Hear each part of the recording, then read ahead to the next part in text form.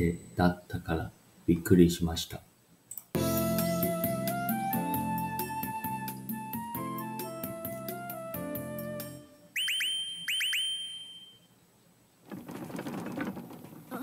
揺れてる。地震？助けて！落ち着いてください。大丈夫ですよ。ほらもう収まった。初めてだったからびっくりしました。初めてだったからびっくりしました。タムとミーヤとハルさんはハルさんハウスでゆっくり少しでいました。その時地震が来ました。あ揺れてるあ、揺れてる。地震助けて地震助けて。落ち着いてください落ち着いてください。大丈夫ですよ大丈夫ですよ。ほらもう収まったほら、もう収まった。初めてだったからびっくりしました初めてだったからびっくりしました。初めてだったからびっくりしました初めてだったからびっくりしました。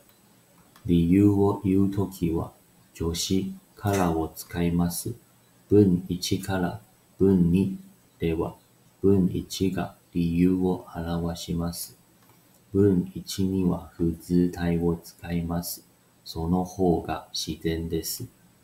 付図体はです、ますを使わない言い方です。定例体と普通体。日本語には定例体と普通体という二つの文のスタイルがあります。定例体は文の終わりにです、ますをつけた言い方です。名詞、形容詞の場合はです、動詞の場合はますをつけます。フォーマルの場面で使います。普通体はです、ますをつけない言い方です。新聞などの書き言葉やカジュアルな話し言葉で使います。その映画、面白かったですか？その映画、面白かったですか？話が難しかったからよくわかりませんでした。話が難しかったからよくわかりませんでした。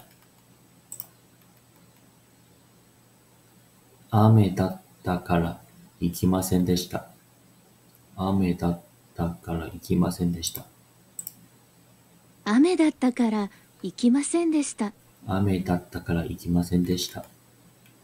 暑かったから疲れました。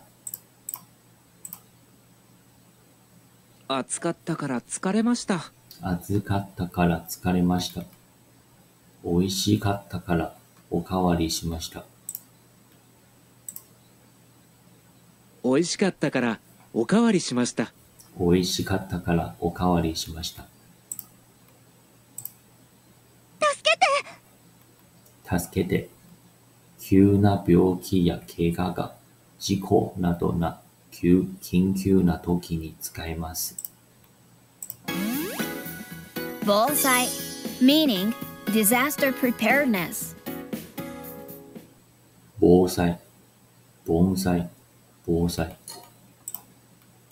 地震が起きたら、地震が起きたら、揺れに強い建物の中にいるときは、外に出ないでください。建物の中の安全な場所に行ってください。揺れがとても大きいときは、揺れが止まってから安全な場所に行ってください。外にいるときも、建物の中にいるときも、頭を守ることが大事です。クッション、クッション、本やカバンなどを頭のちょっと上に持ってください。机の下に入るのもいいです。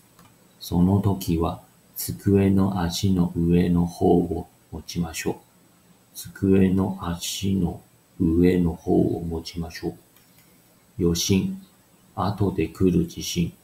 余震にも注意してください。海の近くでは津波が来ることもあります。なるべく早く高いところに逃げてください。